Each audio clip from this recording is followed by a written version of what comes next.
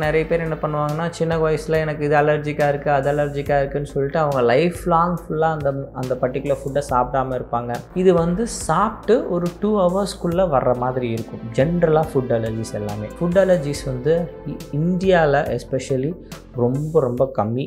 Times of India சமயம் தமிழ் நேயர்களுக்கு வணக்கம். நான் doctor Pradeep pediatrician Deepthi clinic Coimbatore. இன்றைக்கி நம்ம இப்போ கூட நம்ம பார்க்க போகிற டாபிக் என்ன அப்படின்னு பார்த்தீங்கன்னா அந்த ஃபுட் அலர்ஜி நிறைய பேர்த்துக்கு வந்து இது ஒரு முக்கியமான டாப்பிக்காக இருக்கும். ஏன்னா நிறைய பேர் என்ன பண்ணுவாங்கன்னா சின்ன வயசில் எனக்கு இது அலர்ஜிக்காக இருக்குது அது அலர்ஜிக்காக இருக்குதுன்னு சொல்லிட்டு அவங்க லைஃப் லாங் ஃபுல்லாக அந்த அந்த பர்டிகுலர் ஃபுட்டை சாப்பிடாம இருப்பாங்க.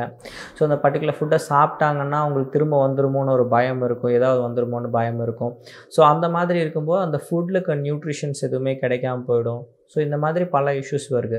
அந்த மாதிரி அந்த ஃபுட் அலர்ஜி அப்படின்னா என்ன அப்படின்றத பற்றி தான் இந்த வீடியோவில் பார்க்க போகிறோம் நான் முன்னமே சொன்ன மாதிரி தான். அலர்ஜியை பொறுத்த வரைக்கும் இது வந்து ஹார்ம்லெஸ்ஸான ஒரு அலர்ஜன் அந்த அலர்ஜனுக்கு வந்து நம்ம இம்யூன் டிஃபென்ஸ் செல்ஸ் என்ன நினச்சிக்கிறாங்கன்னா அது வந்து அவங்க வந்து ஏதோ ப்ராப்ளம் பண்ண வந்திருக்காங்க அப்படின்னு நினச்சிட்டு அவங்களுக்கு அகெயின்ஸ்டாக வந்து இம்யூன் அந்த இது ரியாக்ஷன் கொண்டு வரதுக்கு பேர் தான் இந்த அலர்ஜி ஸோ அதுதான். நம்ம சாப்பிடும் பொழுது அந்த அந்த அந்த அலர்ஜன் உள்ளே போகுது. அது வந்து அந்த ப்ராப்ளமாக கொடுக்கறது. சரிங்களா?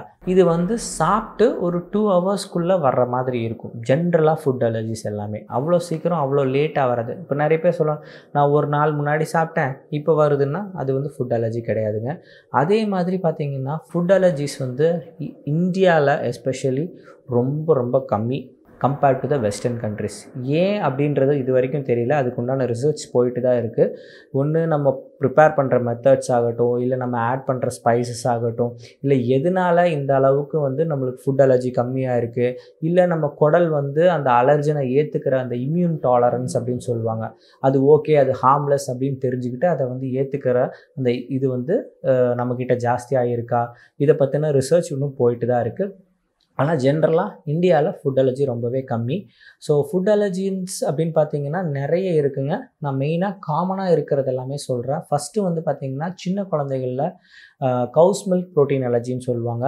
கவுஸ் மில்க் ப்ரோட்டீன் அலர்ஜிங்கிறது வந்து ரொம்ப ஏர்லியராக நீங்கள் ஸ்டார்ட் பண்ணுறீங்க சப்போஸ் அட்டோபிக் டெர்மடைட்டிஸ் இது எல்லாமே பார்த்தீங்கன்னா அலர்ஜி காம்பனண்ட் எல்லாமே சேர்ந்து இருக்கும்.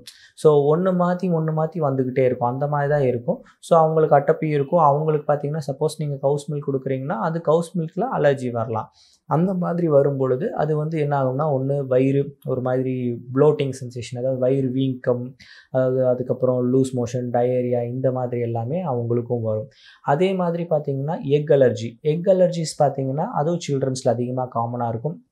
எக் அலர்ஜிஸ் வந்து உங்களுக்கு வந்து கொஞ்சம் கொஞ்சமாக குறைஞ்சிரும். அதே மாதிரி cow's milk அலர்ஜியும் over the time it will reduce அப்புறம் பீனட் அலர்ஜி பீனட் அலர்ஜிஸில் பார்த்தீங்கன்னா அது யங் ஏஜ்லேயும் இருக்கும் எல்டர்ஸ்லேயும் இருக்குங்க.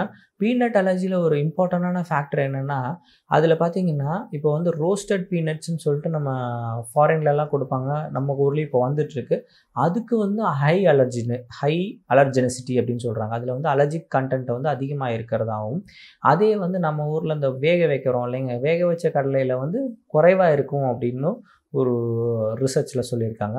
அது மட்டும் இல்லாமல் எல்டர்லி அதாவது அடல்ட் பேஷண்ட்ஸில் போகும்போது பீனட் அலர்ஜி ரொம்பவே காமனாக இருக்குது அது தவிர ட்ரூ நட்ஸ்ன்னு சொல்லுவாங்க. ட்ரூ நட்ஸ்னால் இந்த கேஷ்யூ நட்ஸு பாதாம் அந்த மாதிரி இருக்கிறதுக்கும் தே ஆர் கெட்டிங் அலர்ஜி அதுக்கப்புறம் சீ ஃபுட்ஸ் இதெல்லாம் தான் காமனான ஃபுட் அலர்ஜிஸ் ஸோ இன்றைக்கி இந்த வீடியோவில் ஃபுட் அலர்ஜினா என்னன்னு பார்த்துருக்கோம்.